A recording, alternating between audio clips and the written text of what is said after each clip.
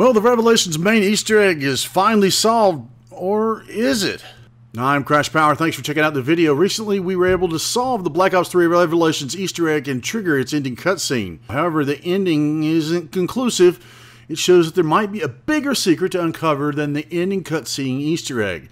Here's what we know so far about the Revelations map. We now have a full list of Easter egg steps that lead to the ending, the boss battle that actually happens between the Shadow Man and Sophia and the main characters.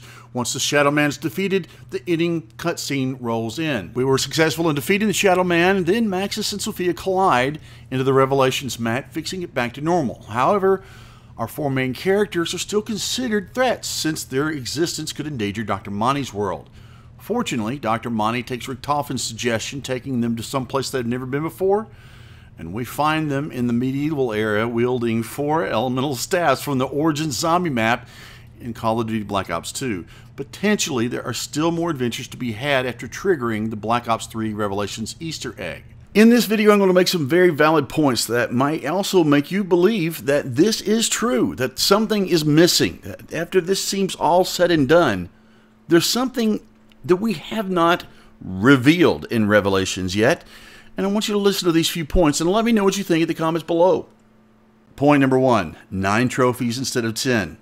Every DLC with Black Ops 3 has had 10 achievements or trophies in them, except this one, DLC 4, this may mean nothing, but it's an odd number. Two of these are a secret description, and it kind of makes me think that they're holding off for the release of the DLC for Xbox and PC users to give us another Easter egg, another main quest, or the real Easter egg. In the past, Treyarch has done this with, uh, for example, with the Zetsubou no Shima map. The round 50 Easter egg didn't come into effect until the DLC was released for Xbox and PC users this by itself definitely doesn't prove anything. However, I do think they're going to release something extra for the Xbox and PC users, whether it's a big deal or a little deal. Who's to know? But there will be something added when the DLC is released for Xbox and PC. Point number two, the Real Decrypter Fixer, or the Real DF on Reddit. I first heard about this guy from Josh Keatley's video showing us some of the found Easter eggs and coding showing some of the unfound Easter eggs at the time, and he's been a dependable source. For example, in the post that I'll link in the description below, he lists coding uh, showing that there are two unfound Easter eggs, one of which is a doppelganger jump scare Easter egg, before we had discovered it. The Real Decrypter Fixer, or the Real DF as he's known on Reddit, is a very well known person. Basically, he said multiple times, in fact, starting four months ago with the Zetsubou no Shima map, he cracked open the code and showed us that here he noticed two entries called Dark Ops Island Easter Egg and Dark Ops Island Super Easter Egg.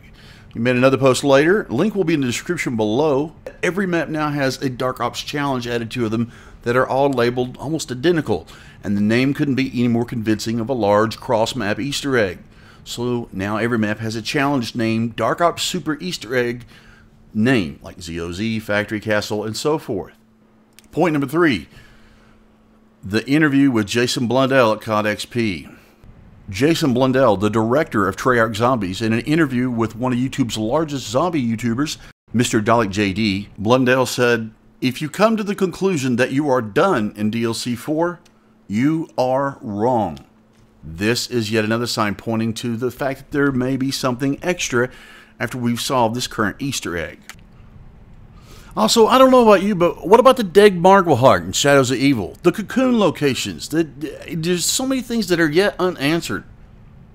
And the ending cutscene. Do you not remember that Maxis said in Origins when this all started? The paradox must be resolved. The loop must be closed. Well, after you watch the ending cutscene, I'll, I'll show you here in just a second. Do you feel like the cycle was broken or completed and repeated?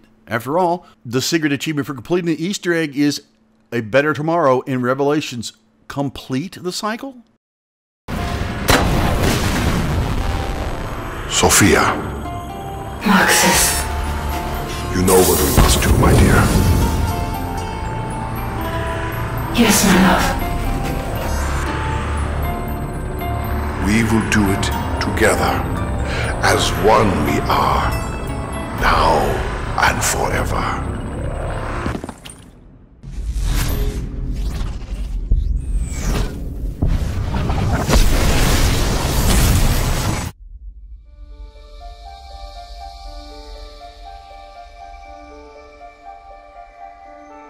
With the evil vanquished, I can start making it all nice again.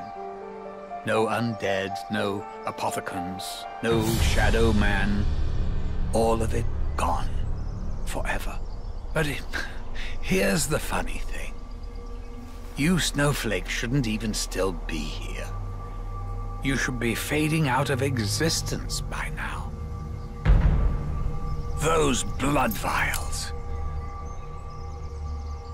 I was wondering when you'd bring this up. They're from realities we've already closed off. They shouldn't be here. They can't be here. Such a paradox means you're putting my perfect world at risk. You guys and your bloody free will. What to do? What to do? Well, you certainly can't stay here. You could send us somewhere else. Somewhere we've never been. Hmm. I, I suppose I could make a little corner somewhere in history. A place where I can dump some of the other shit that I've left over. Or I just wipe you from existence.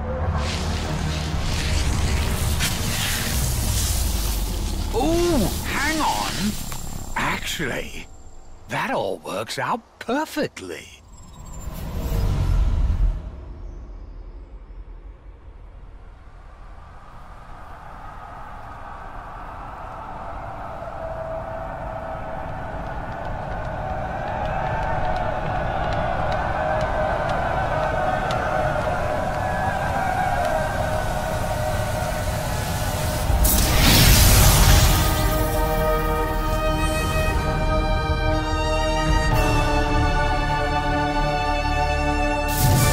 From the very start, when we first found out about Dr. Monty, I swear that guy is evil. But apparently he's our ally? What if there is an alternate journey or an alternate Easter egg? What if we did this Easter egg incorrectly and Monty is actually evil and he's getting us to repeat the cycle so he can remain omnipotent? What if he's actually the bad guy after all? I know, now I'm really, really digging and hoping for a plot twist, but you know, he could just wipe them out of existence, but then he goes ahead and puts them back in the Primis era, in the medieval times. But they were already there, weren't they? I'm going to stop speculating about that and ask you to take a poll right now on screen. Do you think Monty is actually good or evil? Click now to vote. So, there's some pros and cons to this argument. First, the fact that we both get secret trophies when we completed the main Easter egg the Wisp that we presume to be part of the Super Easter egg has actually now found a use. Treyarch has never actually added an Easter egg after launch of any DLC, and finally, Treyarch time getting the Super Easter egg would probably go against the 30 day first deal Sony has with Call of Duty. Uh, uh, and finally, one more thing for the argument.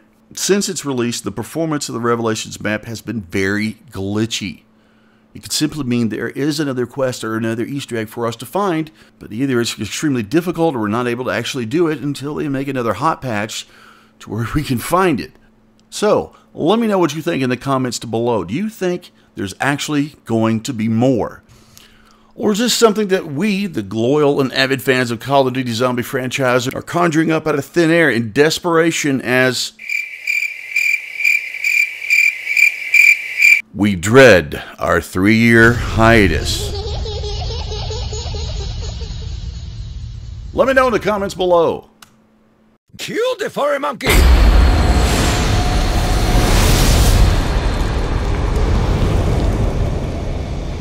The quality of the gun is not as important as the bad motherfucker holding it! Ha Oh, oh, I got, oh, oh, oh, I got mule kick. Somehow I got mule kick. Nice. I just got it on the house. What are you doing? I'm fucking him up! Oh Look at it. Bullshit! That, that's the kill gonna run out.